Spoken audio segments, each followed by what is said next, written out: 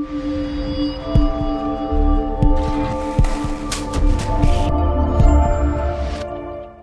what is up everybody? Mark here, and today I want to show you this really fun modular, what I'm going to call a bookshelf. I think a lot of you are really going to like this because it can hold so many different things, but especially those of you who are book lovers might actually really enjoy this. I'll tell you how this goes together in just a minute. But these little cubes here are seven and a quarter inches square, so they hold standard paperback uh, sized books really easily. They also can hold your Xbox games, and, and uh, honestly, I don't have a, a, PS anything, so I don't know what size they are, but I assume they will hold those as well. So you can put books in here, you can put uh, books in these sections, you can put games, or anything else you want to in here, but I think it really works well as a bookshelf. There's essentially just two pieces in this that are just repeated multiple times.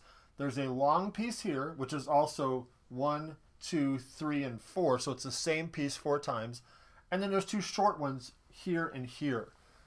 And they just have slots in them and you can put them together whichever way you like. I like this particular look myself.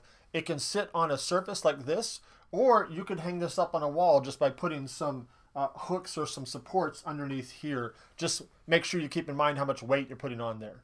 You can also extend this long ways by simply putting long pieces here and going the hatch mark kind of uh, style. And then when you get to however long you want you put the short piece in at the end. I think when you see the pieces separately you'll understand more what i mean.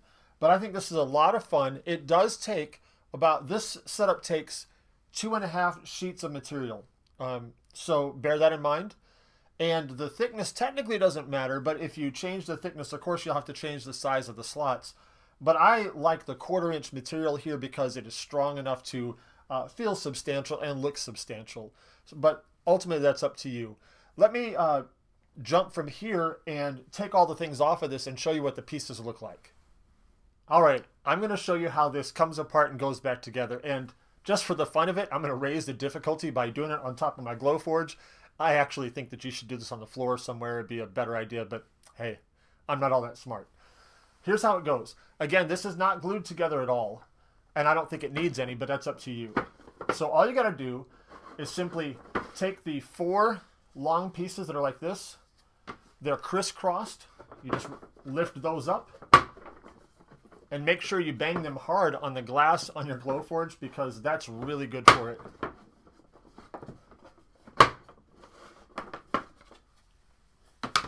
All right.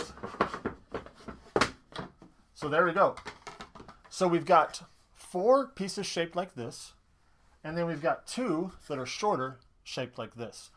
And all they do is they crisscross, the four crisscross, and then the two small ones go at the end. Let me see if I can do it uh, well right in front of you at this angle.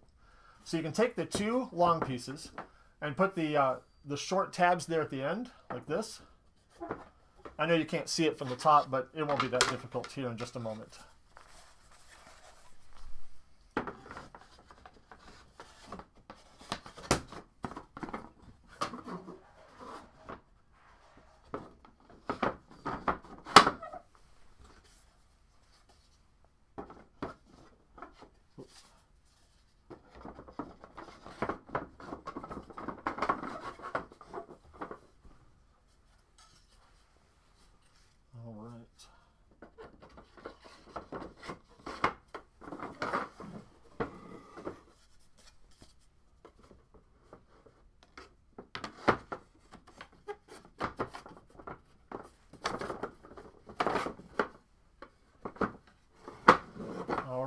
And there we go.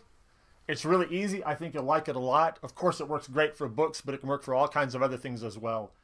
Have fun with it, and as usual, let me see what you make with it, and hit me up if you have any questions. See you in the next one.